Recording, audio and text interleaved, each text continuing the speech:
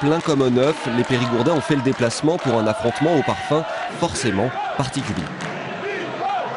Vu que c'est ça, ça augmente encore euh, l'importance du match. Les vacances n'ont pas déconcentré le CSP.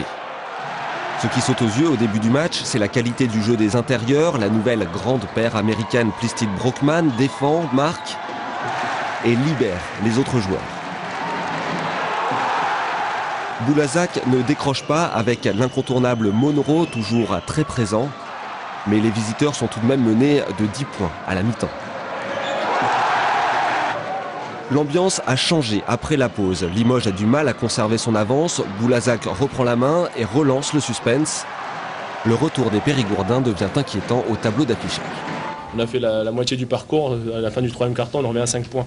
On aurait même pu être euh, à égalité si on, n'a pas a un peu plus de réussite sur les shoots. Et c'est ce tir qui aurait pu être décisif. Raté. La confiance de Boulazac est entamée et Limoges recommence à creuser l'écart avec en plus de très belles combinaisons.